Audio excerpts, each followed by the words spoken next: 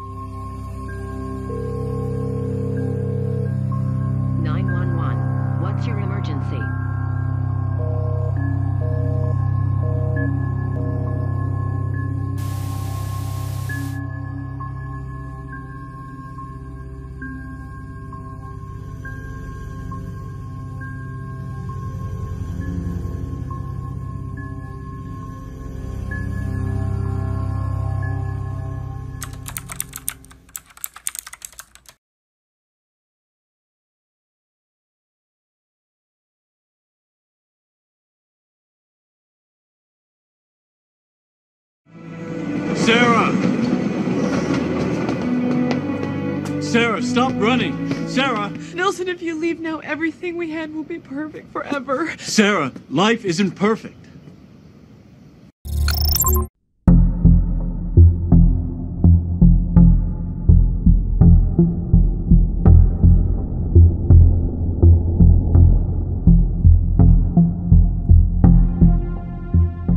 While teenagers are experimenting with things that help them survive a broken heart and heal, some of their assumptions have already been proven by science. This is your host Amanda and today we learn the art of dealing with a breakup. Adolescence is the right time to be in love but lack of experience and self-control are here to stay and make it the toughest time for young lovers. After a bad romance, you can afford the wisdom of a psychology major and their advice will hopefully keep you away from more drama. Silly advice like go to a Slayer concert or invent dramatic memories about your ex might someday be mainstream science.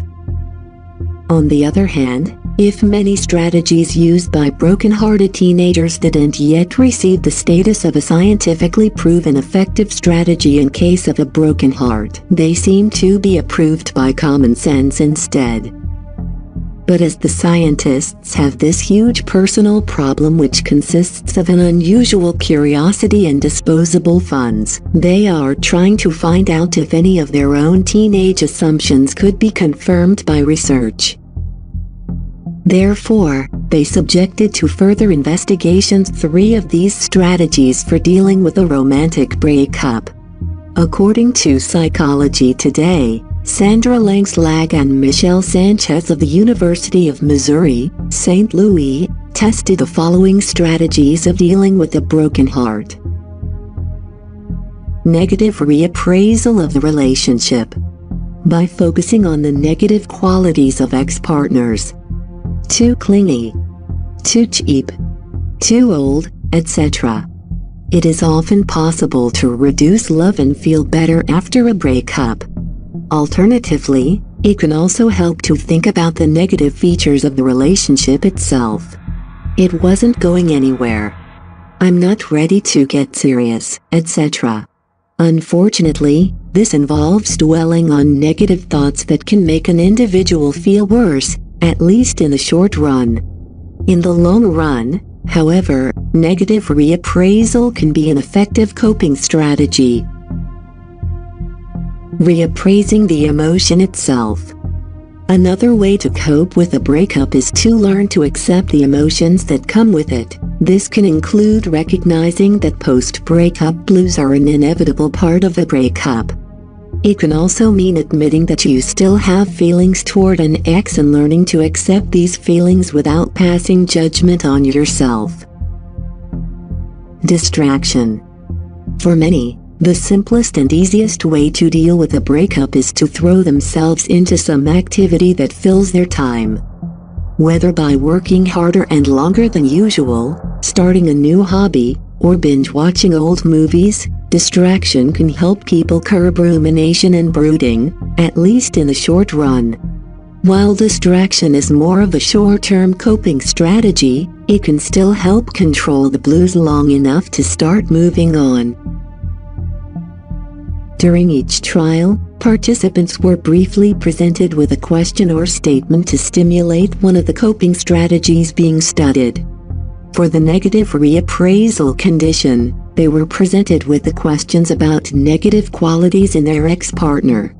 What is an annoying habit of your ex? What is something disrespectful your ex did? Or what is something mean your ex said? In the reappraisal of love feelings condition, prompts included statements such as Many people still love their ex. It's okay to love someone you're no longer with. Or loving someone is normal. The distraction condition included questions such as What is your favorite song and why? Or who is your best friend and why? As expected, results show the strong correlation between the amount of love participants felt for their ex and how upset they were by their breakup.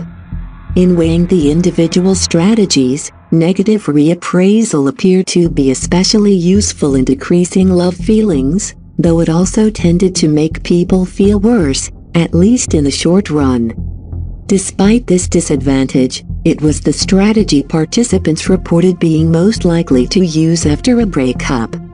The other techniques didn't seem to work as well. Not only did love reappraisal fail to change love feelings, but participants remained skeptical about its value in dealing with heartache. Distractions seemed to help participants deal with emotional pain, but it did little to actually reduce love feelings. More important, it wasn't an effective long-term strategy, since it deals more with avoiding negative feelings rather than learning to overcome them. Based on their findings, Langeslag and Sanchez concluded that negative reappraisal and distraction were the strategies people were most likely to use after a breakup. Being able to deal with romantic feelings, wanted or not, is a skill which can be learned like any other. Along with dealing with the inevitable breakups across the lifespan, this kind of the learning can be a vital part of staying emotionally healthy. We hope this video presentation has been an opportunity to improve your emotional skills and will make your future breakups a little easier. We'll see you in the next one. Until then, don't forget to be the best version of yourselves.